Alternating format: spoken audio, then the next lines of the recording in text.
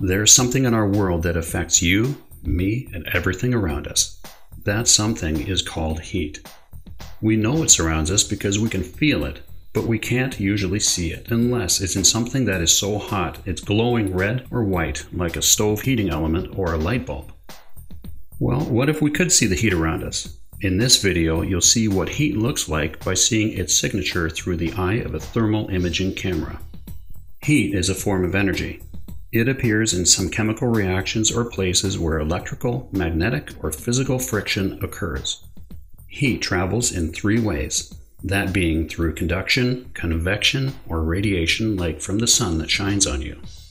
Just like the bristles in this cool, wet toothbrush, there can also exist a lack of heat energy, better known as cold. So, to reiterate, something that is cold will have a low heat energy level, whereas something that is warm will have a higher level of heat energy. Now, this is important. Heat will always travel towards something that is cold, either by contact with a solid or fluid, by the air blowing on it, or by radiating it towards the cold area.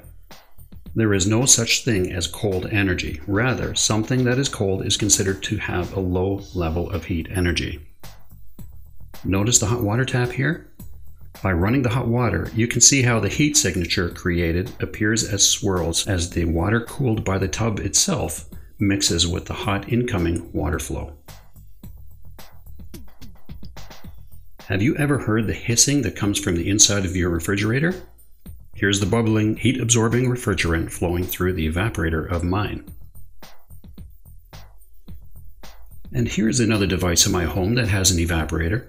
Inside the chest freezer behind the food compartment walls are the evaporator coils filled with heat absorbing refrigerant. Their job is to absorb the heat that's in the food area. This absorbed heat is then pumped out of the freezer by an electric compressor to the condenser coils that are hidden behind the outer walls of this freezer.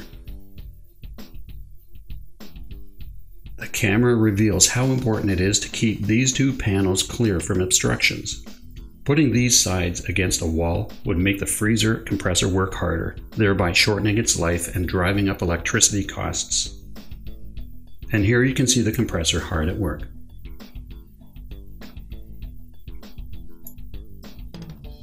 Here's a time lapse I took of the warm up of the engine of my car.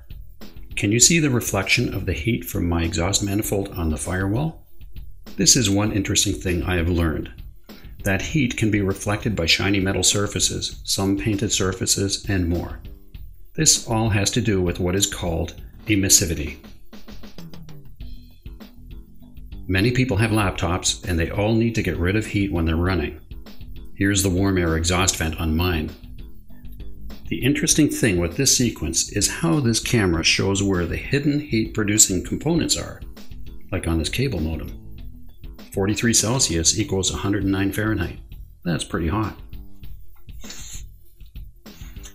And here I'm pouring a cup of boiling water into a cold mug. Notice the reflection of the heat on the countertop.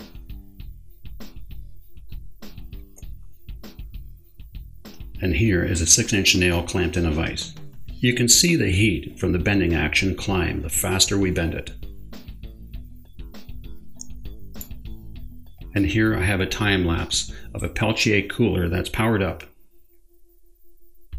You can see how the heat moves through the fins as they are warmed by the unit. The small aluminum block is getting cooled on the top as well.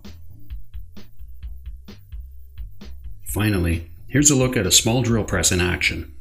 I'm drilling into a soft piece of cedar post. There's not much pressure being applied, yet there are still some pretty hot temperatures appearing at the drill bit. It's no wonder we see steam sometimes when we're drilling into wet wood. I hope you've seen something that you've never seen before here. Thanks for watching.